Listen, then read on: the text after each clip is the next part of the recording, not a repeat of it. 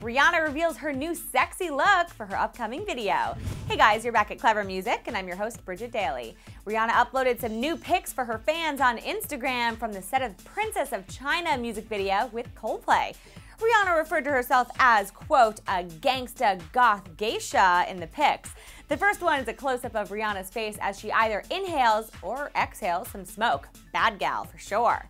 In the next one, Rihanna stands against a wall in a black, tight dress with a high slit. And yes, that is her middle finger she's sticking up at the camera. Fierce nails.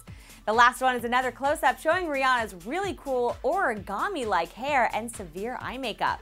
Now, the shoot reportedly took place at the Taiko Center right here in LA this week. We can't wait for this vid to come out. So stay tuned on Clevver Music for all the details, and we'll be sure to keep you posted. Thanks for subscribing, and see you next time.